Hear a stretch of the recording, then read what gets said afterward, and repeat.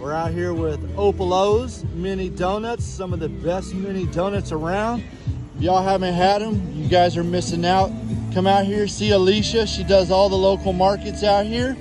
And uh, get some of those mini donuts, y'all. All sorts of different flavors, options. I promise you, they'll change your life. So come out, see Alicia, Opal O's Mini Donuts. She'll get you taken care of.